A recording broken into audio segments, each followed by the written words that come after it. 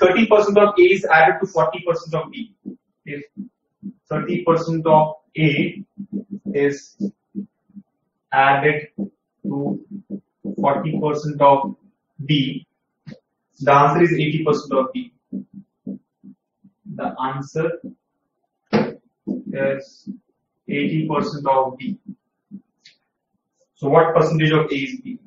What percentage of A is what percentage of A? What percentage of A is B? We have discussed, right? What percentage of A is B? What percentage of A is B? B by A into 100, right? X is what percent of Y? X by Y into 100. What percent of X is Y? What percent of, even remember, I told you, wherever we have of, whatever is followed by of, that should come in the. So what percentage of A is B? Is nothing but B is what percentage of A? Yes or no? What is your name? Your name is what? Remains the same, answer remains. So what percentage of A is B? Nothing but B is what percent of A? B is what percent of A? B by A into 100. So basically the requirement here is B by A into 100. Let me give you the options as well.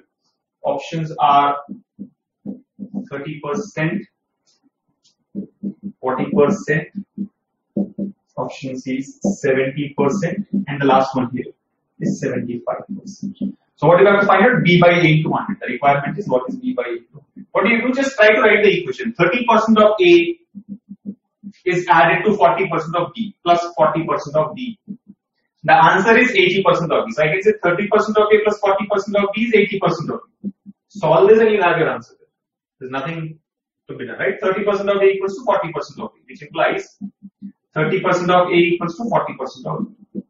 What do we want? B by A. So try to take B by A. What do we get? From this we can say B by A. B by A will be equal to 30 by 40. See that percentage anyway gets cancelled on both the sides. Don't worry about that. What is percentage? By 100. So by 100 on left side, by 100 on right side gets eliminated, right? So 30 by 40. We want B by A to 100. So into 100. 30 by 40 into 100. 30 by 40 into 100 is nothing but 75 percentage. 3 by 2, right? 3 fourth is 75 percentage. So option B is very simple.